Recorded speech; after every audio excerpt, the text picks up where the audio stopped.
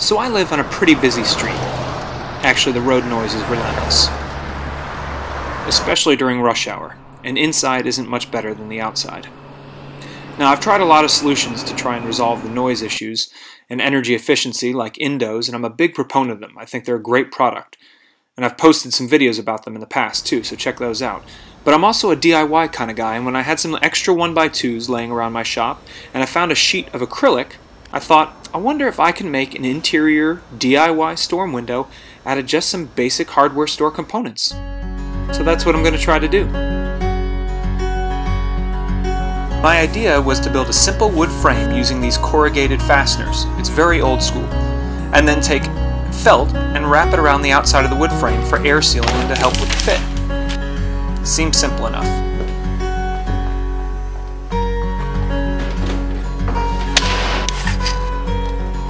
I decided to do simple mitered corners this time rather than butt joints like I've done in videos in the past.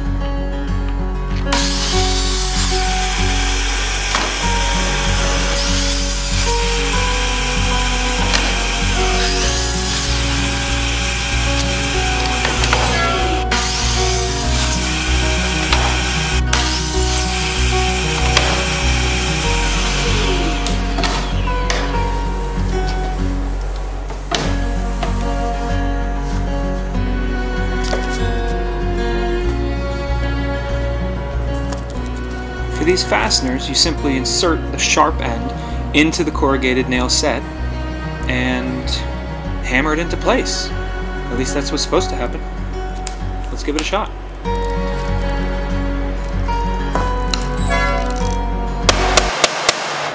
Well, that sucked.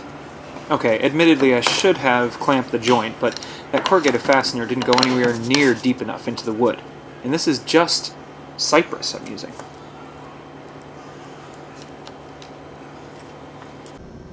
I tried a couple other times, did the same thing. I figured maybe I'll hit it without the nail set. And it just wouldn't go into the wood. New plan. So I probably should have mentioned that I own a pneumatic corrugated fastener gun. You could always use dowels or biscuits or pocket hole screws like I did in my DIY storm windows video, but I wanted to try something new for this video. Corrugated fasteners actually create a surprisingly strong joint if they're used indoors on things like cabinet doors or, hey, interior storm windows. Then it was just time to fill some of the gaps and move on to sanding.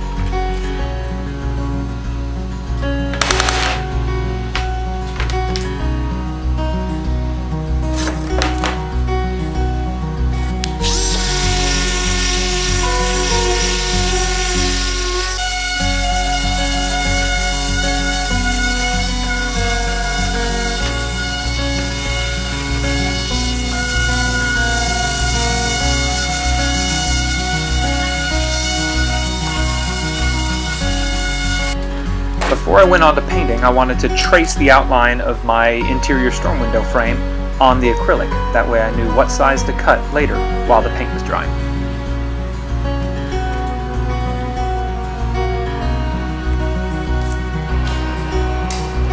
I decided to spray the finish onto these because I had access to a paint booth, but I could have just as easily brushed on the finished paint.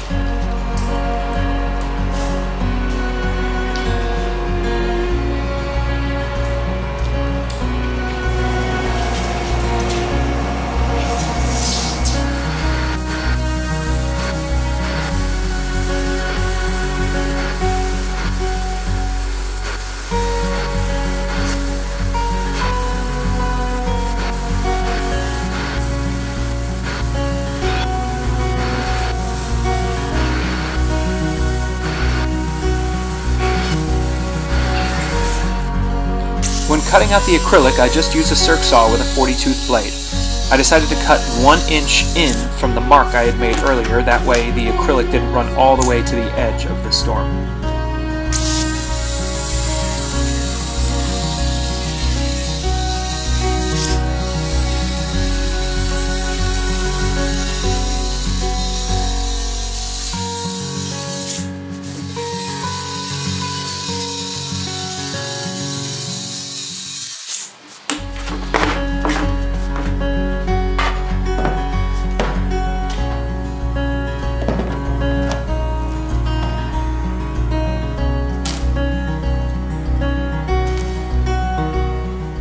Attach the polycarbonate, I just used some number 8 3 quarter inch wood screws. They were brass. I had them sitting around the shop and I attached everything. I didn't even have to pre-drill since it's polycarbonate, not actually plexiglass. It's a little bit more resistant to impact and to cracking than plexiglass is.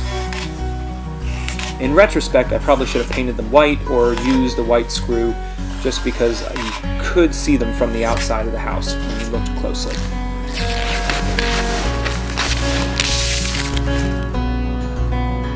My windows had nice flat stops about an inch wide that I could sit this interior storm window into. I did have a lift that needed to be removed in order to fit it, and then it was time to put the felt on. It was just simply peel and stick and put it around the perimeter of the window.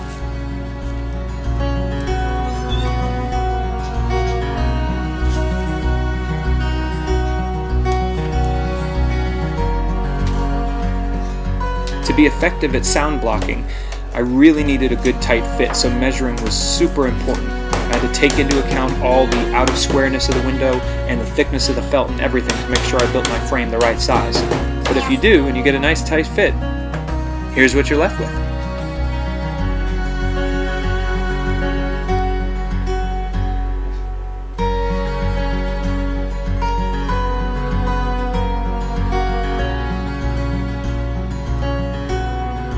Using a 1x2 and some quarter inch thick felt was perfect.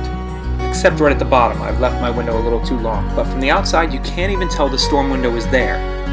When you get up close, you do see the screws, but now we know how to rectify that. Overall, I was super happy with how the project turned out.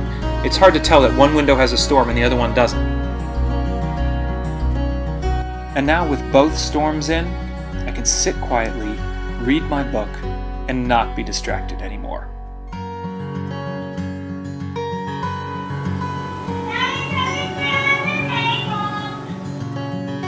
At least not by outside noises.